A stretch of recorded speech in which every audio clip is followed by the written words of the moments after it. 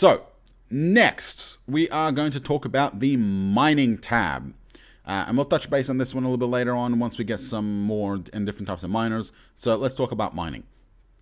Mining tab is should ideally be called the minerals and mining tab, but whatever. So mining tab gives you the mineral data for the planet that you're looking at, or the well, the planet that the colony is on. So if you have a if you had a different colony on Earth for a different race or a different species, then you would get the same, well, the same quantity and accessibility, although the rest of it might vary.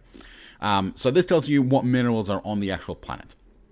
There are 11 minerals in total. You've got duranium, neutronium, corbomite, tritanium, boronide, mercassium, vendarite, sorium, uridium, corundium, and gallicite. Uh, these are all used in different things. We'll talk about that later.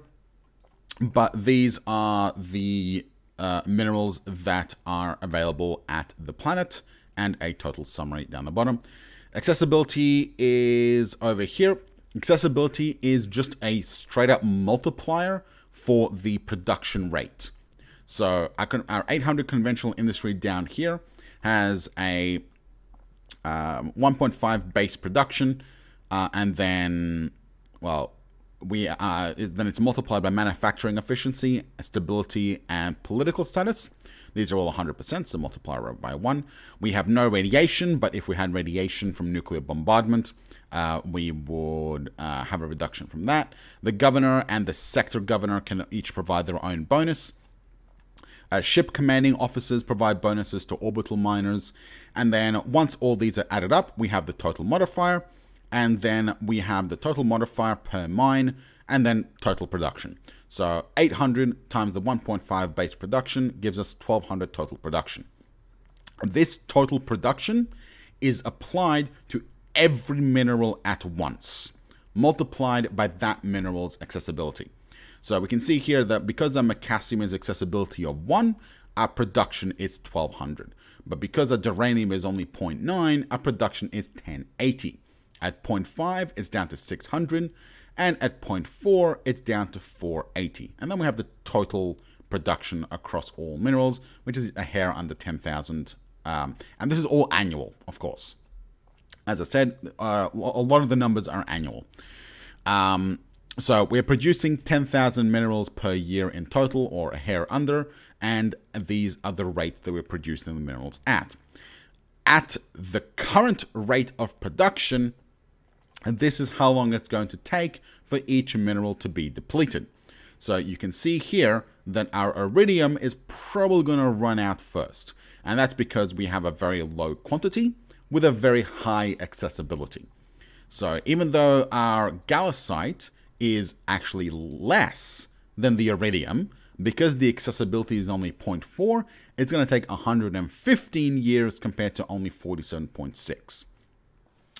Now, obviously, this is all relative. As we build more mines, and as the accessibility drops as the as the quantity starts to decline these will all change. But this gives you a rough indication of what's going to run out first and roughly how long you can expect the mining operation to continue. So uh, that's the depletion in years the stockpile is how, how many of each mineral the colony currently has so we got 41,500 minerals of each, and this is our current stockpile. The recent stockpile production, oh, I think that means stockpile production, but uh, basically, this is how the stockpile has changed within the last production cycle or increment, one of the two. So, because yeah, production cycle, not increment, because we did a five minute increment and it hasn't changed. So uh, this is how the stockpile has changed within the last production cycle. Because all the minerals have appeared in the last production cycle, they are identical. Once we get to the next production cycle, then this will change to uh, probably this this bit divided by 365 because uh, we have one day production cycles. So uh, this will tell you what the change is like. A positive number means that you are gaining that many uh, within the last production cycle. A negative number means that you are losing that many per production cycle. So if you have negative numbers in here, you are at risk of running out. Um, and we'll get to that in a second. Uh, this is the mass driver increase or decrease. So this tells you how many minerals of each type the mass drivers are receiving or sending. Uh, now, this is stockpile plus, production. So this is what you can expect your stockpile to be at uh, by this time next year. So it's basically this plus this equals that. Very straightforward. Um, it does not include consumption. That's this one. So this is how many minerals you can expect to be used over the next year. Um, now, we're not building anything, but the reason why we have these is because we are building something. We're producing fuel and we're producing MSP. So fuel is made from sorium, so we're going to be consuming about 800 uh, units of sorium over the next year for our fuel consumption. And we can expect to, to use 40 duranium and gallicite and 20 uridium for our MSP production. Um, so we're consuming a few resources here. Uh, you'll notice that because our sorium production is 720 and our usage is 800, that means that we will actually lose sorium this year.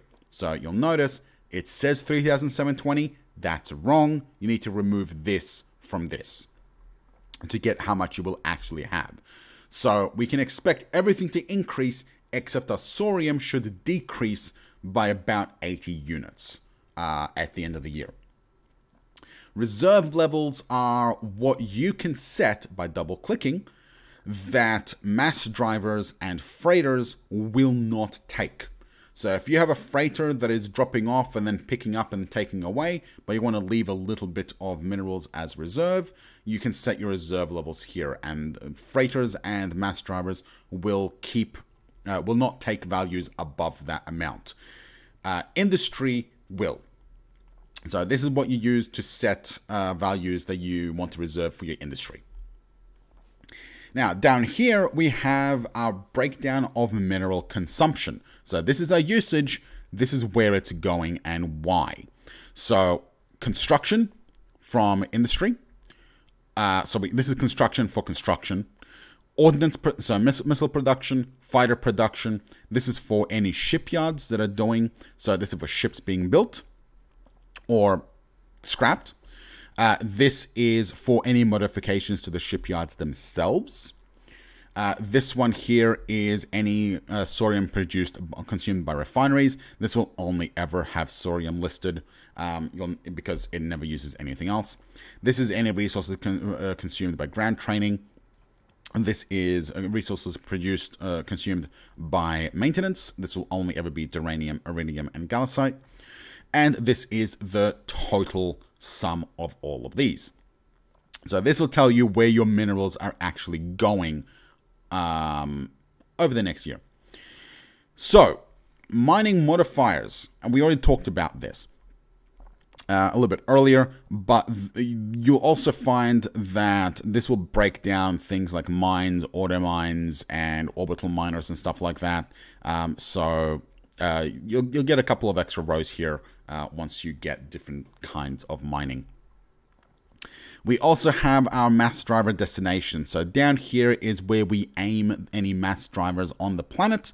Uh, mass drivers send 5,000 will send 5,000 minerals per year per mass driver to the destination you send it to. You can only target your own colonies that also have a mass driver and you cannot remove the last mass driver from a planet that has a mineral packet inbound. So keep that in mind. You cannot, without using Space Master mode to do funky stuff, you cannot bombard a planet with a mass driver. The game will not let you. It has enough security in place that you cannot aim or uh, make a target eligible for bombardment. You cannot bomb a target that way. You're just going to have to use nukes.